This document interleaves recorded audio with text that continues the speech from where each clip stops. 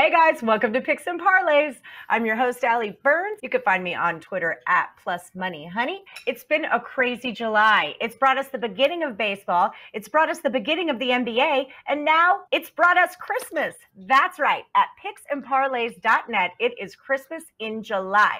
We are doing a yearly consensus report 40% off, just $214.99. And you can find this guy, Sean Higgs, on Twitter, The Real Higgs. How's it going, Sean? Pretty good. A little NBA. It's back. Who knew it was going to be here at the last week of July, regular season? But hello, 2020. Yeah. And it's in Here Disney World. again, The Lakers and Clippers are Yeah. playing. Lakers and In Clippers, and it's from Orlando. So we've ah, got your free basketball pick for the Clippers and the Lakers. I know that Lou Williams has had some incidents in which he's had to quarantine for. I know Anthony Davis on the Lakers has some eye issues, so he's a little questionable. So is Dwight Howard. I don't really know what's going on here.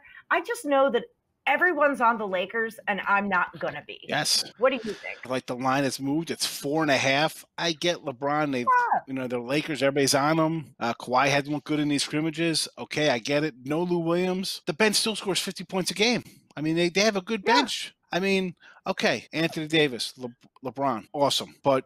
Avery Bradley's sitting out. Rondo's out. He's hurt. And uh, let's remember Bradley here 49 games he played, 44 you started. So you basically lose your starting backcourt. Uh, J.R. Smith, I That's mean, a good way to think of the, it. the jokes. The JR, uh, really, I mean, people think, oh, oh, he's not that great or whatever. I mean, you start 44 games, there's a little bit of familiarity with a team. I mean, you're working new guys in. I mean, J.R. Smith, the jokes write themselves. I mean, Dwight Howard's anti-vaxxer, he's as good as Kyrie's flat earthers. I mean, it's great stuff. People are all over Right. Lakers. They want these guys. This is what they want for the finals. I don't know. Maybe the Thunder sneak in and upset somebody. I, you know, who knows what could be. But give me Kawhi, give me George. They're two guys, and they got something to prove. I'm sure to look at this like, really, we're four and a half point dogs because of Lou Williams got some hot wings. All right, I'll take four and a half. and again, I, you know what I'm saying? I mean, Lou had to go get hot wings in Yeah. Atlanta at a strip club, and, and the guys like, oh, they're really good wings. I just, uh, I'm not worried about Lou Williams. The bench is still the bench. It put up 50 points a game. I still got two. If if LeBron and Davis are are two of the top five, Kawhi and his partner are top ten. You know, one or in five and ten. So whatever. Give me the points. Better bench, better team. Yeah, my my angle on this, and sometimes it's just kind of what it comes down to me when I bet basketball is if it's just going to be a real close match, and I'm getting more points than one possession, I want that.